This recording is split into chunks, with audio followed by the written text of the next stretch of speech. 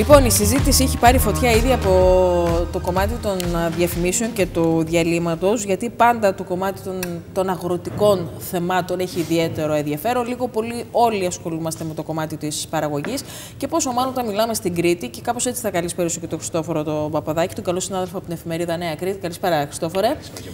Πώς, μάλλον όταν μιλάμε για την Κρήτη, που είτε κάποιος ασχολείται μόνιμα ή αποκλειστικά, μάλλον για να το πω πιο σωστά, με το κομμάτι της παραγωγής, είτε συνδυαστικά για να προσθέτει στο εισόδημά του, η περίοδος αυτή ε, τους έχει βρει όλους προβληματισμένους. Ήταν μια περίοδος που την είχαμε συνηθίσει να περιμένει ο κόσμος ο, τις επιδοτήσεις του, να παίρνει τις προκαταβολές του, ταυτόχρονα να παράγει και το ελαιόλαδό του ε, από το οποίο να έχει ένα εισόδημα κατά τα προηγούμενα χρόνια θα λέγαμε ε, αξιόλογο, αξιοπρεπές, ακόμα, ακόμα και σε περιόδους ας πούμε, που οι τιμές ήταν χαμηλές, όπως ε, σε χρόνια που ξέρω εγώ η τιμή του παραγωγού ήταν στα 2,5-3 ευρώ. Παρ' όλα αυτά ε, μπορούσε ο κόσμος με μια αξιοπρέπεια να εξασφαλίζει τα προστοζήν. Φτάνουμε σε μια χρονιά όμως ε, φέτος, κατά την οποία ε, ούτε ε, εισόδημα από την πώληση του ελαιολάδου υπάρχει, ε, έχει ο κόσμος. Ο κόσμος επίσης δεν έχει να περιμένει ούτε επιδοτήσεις, υπάρχει μια απεσιοδοξία, Πολλά μαζεμένα προ, πέσανε προβληματισμός και μια ας πούμε γενικευμένη ανέχεια ε, η οποία εγώ νομίζω ότι σε ό,τι αφορά τον αγροτικό πληθυσμό δεν έχει προηγούμενο. Ναι, και να πούμε βέβαια ότι τις επιδοτήσεις δεν τις περιμένουν μόνο αγρότες και εμεί που είναι δικαιούχοι, έτσι τις περιμένουν και ο εμπορικός κόσμος, η ιδιωτική αγορά από τις επιδοτήσεις. Μια αλυσίδα πραγματικά. Πάρα και αγορά από εκεί δηλαδή γίνεται. Περιμένουν τις επιδοτήσεις. Στο μεταξύ, σε ό,τι αφορά και το ελαιόλαδο, μην ξεχνάμε ότι ε, το ελαιόλαδο δεν παράγεται μόνο από, από κατά κύριο επάγγελμα αγρότες, αλλά παράγεται κυρίως από ετεροεπαγγελματίε αγρότες. Αυτό σημαίνει λοιπόν ότι ένα μεγάλο κομμάτι του πληθυσμού ε, ασχολείται με την, με την παραγωγή του ελαιολάδου, δημόσιοι υπάλληλοι, εργαζόμενοι στον ιδιωτικό τομέα, ε, άνθρωποι οι οποίοι περίμεναν από αυτό το προϊόν να έχουν ένα συμπληρωματικό εισόδημα και τελικά δεν υπάρχει ούτε αυτό το υπάρχει εισόδημα. Τίποτα σε... Δεν υπάρχει τίποτα. Ναι, ναι. Ελε... Σε, σε ελιά... Η κατάσταση είναι δραματική. Ναι, Πραγματικά είναι δραματική. Είναι δραματική. Και κάθε μέρα, είναι... που, που, κάθε μέρα που περνάει, διαπιστώνει ο κόσμος πόσο δραματικότερη είναι σε σχέση Ναι. με την κατάσταση που υπολογίζαμε αρχικώς. Λοιπόν, ε, να βάλουμε στην κουβέντα μας και να τον ευχαριστήσουμε πάρα πολύ που είναι μαζί μας, τον πρώην Υπουργό Αγροτικής Ανάπτυξης. Μάλιστα, έχει και την ιδιότητα του γεωπόνου και αυτό έχει α, ακόμη παραπάνω σημασία. Είναι ο κύριος Σταύρος Αραχοβίτης. Σας βλέπουμε και σας ευχαριστούμε πολύ που είστε μαζί μας, κύριε Αραχοβίτη. Εγώ σας ευχαριστώ για τη φιλοξενία. Καλησπέρα στην αγαπημένη Κρήτη. Καλησπέρα σε όλους σας. Καλησπέρα σας. Βλέπετε τον προβληματισμό μας, τουλάχιστον έτσι από την εισαγωγή που κάναμε εμείς εδώ, είναι ένα πολύ μικρό κομμάτι προβληματισμού, όπως καταγράφεται λοιπόν και στην Κρήτη, όπως σε ολόκληρη την χώρα, αλλά μιας και είμαστε στην Κρήτη τώρα, ε, εκεί ε, επικεντρωνόμαστε εμείς.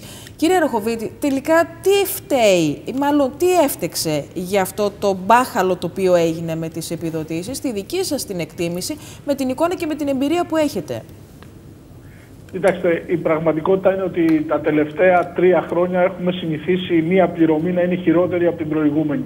Και αυτό είναι πραγματικά δικαιολόγητο γιατί τα προηγούμενα χρόνια οι πληρωμές είχαν μπει σε μία τάξη. Πραγματικά οι αγρότες ήξεραν, είχαν χρόνο προγραμματισμό, ήξεραν τι θα πάρουν παραμονές της 28 Οκτωβρίου, τι θα πάρουν ε, πριν τα Χριστούγεννα, οπότε μπορούσαν να κανονίσουν και τις πληρωμές τους. Αυτό τα τελευταία τρία χρόνια έχει διαταραχτεί. Ειδικά φέτο που ήταν η πρώτη χρονιά εφαρμογής του νέου Εθνικού Στρατηγικού Σχεδίου της νέας ΚΑΠ, είδαμε ε, πράγματα τα οποία δεν μπορούν να δικαιολογηθούν από κανέναν και δεν μπορούν ούτε καν να εξηγηθούν, όχι να δικαιολογηθούν, ούτε καν να εξηγηθούν. Είδαμε δηλαδή μια πολύ μεγάλη μείωση της βασικής ενίσχυσης, η οποία δεν ταυτίζεται με την προβλεπόμενη μείωση που πάλι ήταν μεγάλη, που προβλεπ... την προβλεπόμενη μείωση από το Εθνικό Στρατηγικό Σχέδιο και η επόμενη εκαθάριση, δηλαδή αυτά τα χρήματα που θα μπουν τα Χριστούγεννα, θα είναι πολύ λιγότερα από αυτά που περιμένουν οι αγρότες γιατί δεν υπάρχει το πρασίνισμα πια. Έτσι γίνεται οικολογικά σχήματα που τα οικολογικά σχήματα Πάνε θα για Μάρτιο. πληρωθούν αργότερα προς την Άνοιξη. Άρα η παραγωγή ε, πέραν του ότι είδαν μια πολύ μικρή κουτσουρεμένη, αδικαιολόγητα κουτσουρεμένη προκαταβολή, η επόμενη πληρωμή εκαθάριση των Χριστουγέννων θα είναι και αυτή πολύ πολύ χαμηλή. Κυρία Ραχοβίτη- Και αυτό το λέω ξεκινώντας την κουβέντα μας, Ναι. για να ξέρουν οι παραγωγοί ότι οι υποχρεώσεις που θα αναλάβουν, που θα βάλουν για τα Χριστούγεννα θα πρέπει να είναι πολύ ε, περιορισμένες γιατί τα χρήματα που θα μπουν δεν θα είναι πολλά. Κύριε Ραχοβίτη, εσείς είχατε χτυπήσει καμπανάκι. Ουσιαστικά είχατε προειδοποιήσει για αυτά που βλέπουμε να συμβαίνουν ε, εδώ και πάρα πολύ καιρό. Από το Δεκέμβριο του 2021 τα είχατε πει και στη Βουλή, τα είχατε πει και μέσω αρθογραφία σας. Είχατε τελικά αποδειχθήκατε προφήτης, έτσι, δυστυχώς κακών εξελίξεων. Δυστυχώς, δυστυχώς. Ξέρετε, δεν είναι θέμα α, α, μαντικών ικανοτήτων. Όποιος μπορεί να διαβάζει και διαβάζει πίσω από τις γραμμές, βλέπει και τι έρχεται. Μπορεί να ερμηνεύσει και τα, τα φαινόμενα, τα ε, ερχόμενα μάλλον, τα μελούμενα. Ε, το εθνικό στρατηγικό, η πρώτη παρατήρηση που είχαμε κάνει είναι ότι το εθνικό στρατηγικό που εφαρμόζεται τώρα πια από το, την αρχή του 23 στη χώρα προέβλεπε μεγάλες μειώσεις, αδικαιολόγητα μεγάλες μειώσεις, κυρίως στους παραγωγούς, ε, τους παραδοσιακούς παραγωγούς, τους παραγωγούς καλλιεργητές παραδοσιακών καλλιεργειών όπως είναι η ελιά, uh όπως είναι η πιμενική κτηνοτροφία και όπως είναι μια σειρά από άλλες καλλιέργειες που καλλιεργούνται ενδεχομένως σε άλλες περιοχές και όχι τόσο στην Κρήτη. Άρα η Κρήτη είναι από τις περιοχές που όπως φαινόταν από το Εθνικό Στρατηγικό Σχέδιο θα είχαν τις μεγαλύτερες μειώσεις. Αυτό το είχαμε προειδοποιήσει και είχαμε προειδοποιήσει για την βιωσιμότητα των μικρών και πολύ μικρών εκμεταλλεύσεων, αυτές που λέτε, που λέγατε στην εισαγωγή σας, περισσότερο των, είτε αυτό που συμπληρώνουν το εισόδημά τους, αλλά συνεχίζουν να Είναι μεγάλη πλειοψηφία της Κρήτης είτε... αυτή. Είναι μεγάλη πλειοψηφία της Κρήτης αυτή. Ακριβώς. Είναι η μεγάλη πλειοψηφία των παραγωγών της Κρήτης, είτε αυτό που ζουν σε ορεινές ε, και μειονεκτικές περιοχές, φυλάνε θερμοπύλες, να το πούμε και χρησιμοποιώντας ναι. και το λακωνικό όρο, ε, η κτηνοτροφία, η ορεινή πειμενική κτηνοτροφία, η παραδοσιακή της Κρήτης. Και εδώ προσέξτε τις συνέπειες. Οι συνέπειες είναι ότι θα έχουμε μείωση του παραγόμενου ελαιολάδου, δηλαδή θα έχουμε εγκατάλειψη ε, αγροτεμαχίων, θα έχουμε μείωση της ποιότητας, γιατί η παραγωγή που ούτως ή άλλως δεν είναι μεγάλη συστηματική, αρχίζουν ε, να, να καλλιεργούν ε, οικονομικότερα, άρα πλημελώς, θα έχουμε ε, μείωση της κτηνοτροφικής παραγωγής που είναι το ισχυρό χαρτί και το ισχυρό μπραντ της Κρήτης. Έτσι. Άρα οι συνέπειες είναι μια σειρά, είναι κοινωνικές και οικονομικές συνέπειες. Το θέμα, κύριε Ραχοβίτη, τώρα ξέρετε, εμείς προσπαθούμε αναζητώντας απαντήσεις, γιατί πλέον, όπως είπατε και εσείς και το είπατε και ξεκάθαρα, το Δεκέμβριο στην εκαθάριση οι παραγωγοί δεν έχουν να περιμένουν και πολλά. Στην, στην ερώτηση όμως του τι τελικά μπορούσε να γίνει, αν μπορούσε να γίνει κάτι για να, για να προλάβουμε ε, αυτές τις τσεκουρεμένες επιδοτήσεις από τη στιγμή που τα χρήματα υπήρχαν. Δεν είναι ότι δεν υπήρχαν τα χρήματα, τα χρήματα υπήρχαν. Έπρεπε να γίνουν κάποιες κινήσεις πιο σωστές και ποιες είναι αυτές, είτε από την πλευρά του Υπουργείου Αγροτικής Ανάπτυξης, είτε από την πλευρά του ΟΠΕΚΕΠΕ.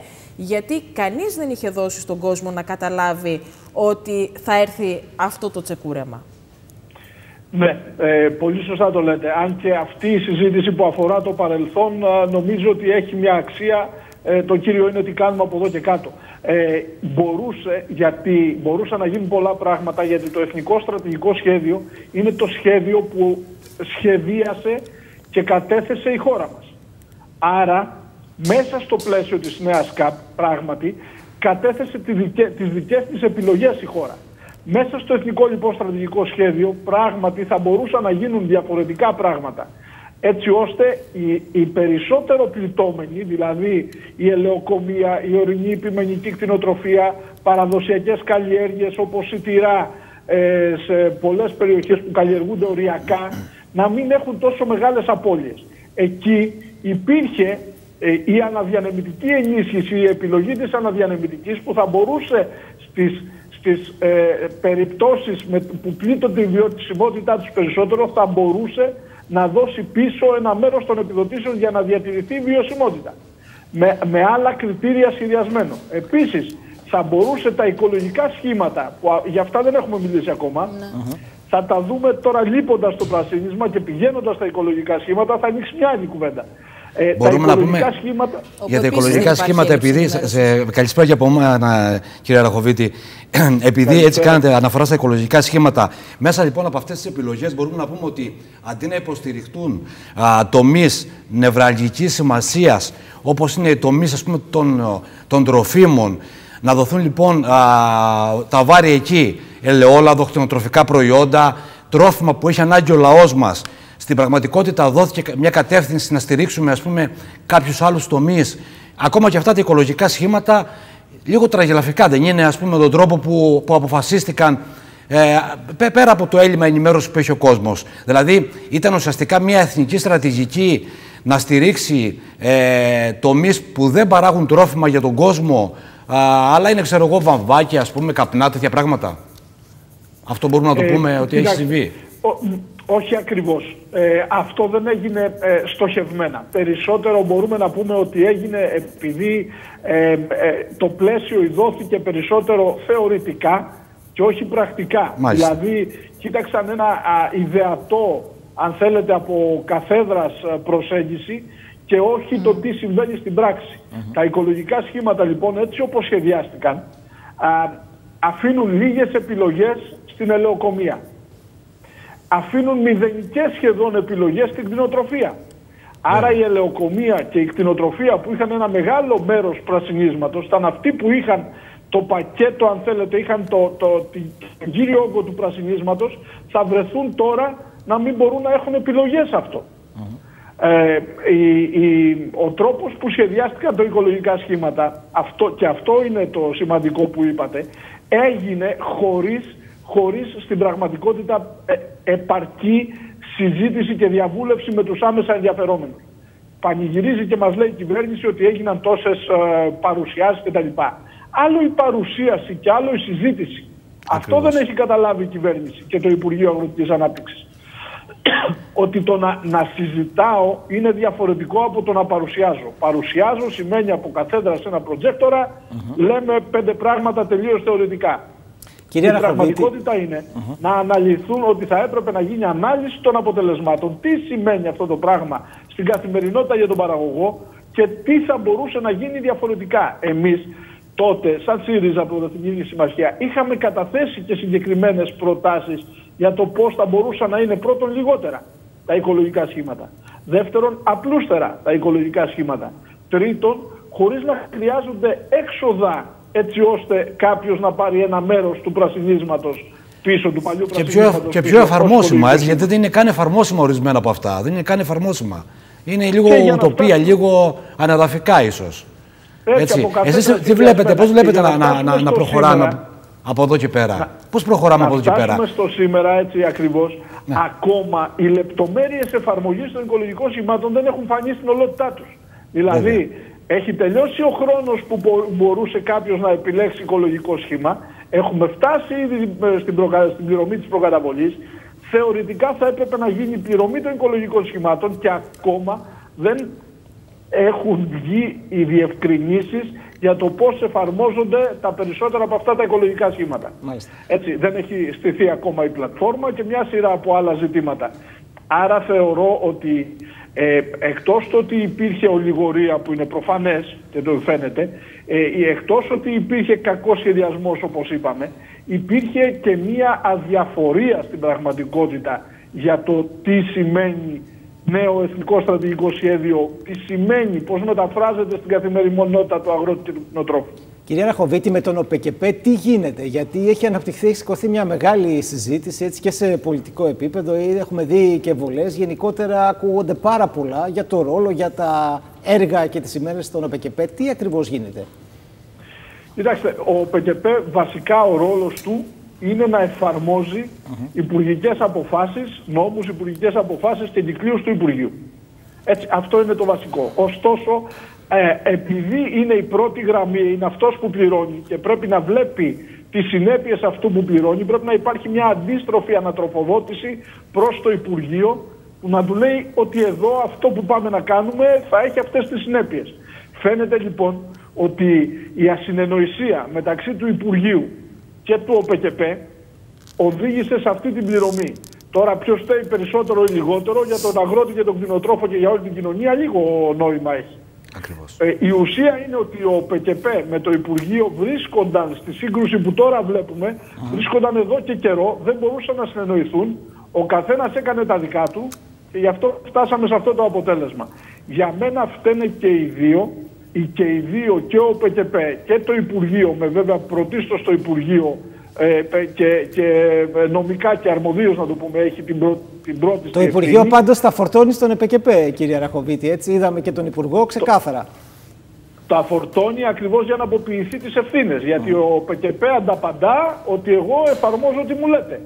Η πραγματικότητα είναι ότι αν εκεί δεν υπάρχει συνεννόηση και στις δύο πλευρές, δεν μπορεί να γίνει, ε, να έχουμε επιθυμητό αποτέλεσμα. Κατά τη δική μου θητεία, όταν ε, ήμουν υπουργός, οι συναντήσεις με, το, με την ε, ηγεσία του ΟΠΚΠ ήταν τακτικότατες. Ήταν σε επίπεδο περισσότερες από μία φορά κάθε εβδομάδα. Κάθε εβδομάδα. Και οτιδήποτε ήταν να βγει σαν εγκύκλιο, σαν υπουργική απόφαση ή σαν ενέργεια από την πλευρά του ΟΠΚΠ, πέρναγε από ψηλή κρυσάρα. Κυρία Ραχοβίτη, επειδή δυστυχώς μας πιέζει ο χρόνος, πολύ σύντομα ένα τελευταίο σχόλιο θα ήθελα από εσά για το αν τελικά προλαβαίνουμε να διορθώσουμε κακό κείμενα για, το, για την επόμενη χρονιά. Αν θα δούμε μια καλύτερη ε, κατάσταση, γιατί λίγο νιώθουμε ότι έχει χαθεί αυτή η χρονιά. Για την επόμενη χρονιά προλαβαίνουμε να κάνουμε κάτι. Ε, είναι αυτό που είπατε για την ε, φετινή χρονιά δεν προλαβαίνει να γίνει τίποτα. οι αγρότες ε, δυστυχώς θα δουν μια πολύ μεγάλη περικοπή για την επόμενη χρονιά. Λίγα είναι πραγματικά αυτά που μπορούν να γίνουν. Δεν είναι πάρα πολλά. Δηλαδή το εθνικό στρατηγικό μπορεί να διορθωθεί. Δεν μπορεί να αλλάξει εκ του συστάδη.